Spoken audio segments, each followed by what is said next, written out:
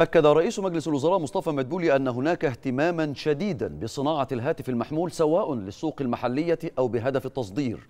وخلال اجتماع عقد بمقر الحكومة بمدينة العالمين الجديدة لمناقشة ملف توطين صناعة الهواتف المحمولة للتصدير من مصر أوضح مدبولي أن هناك بالفعل عدة شركات بدأت في التصنيع المحلي للهاتف المحمول.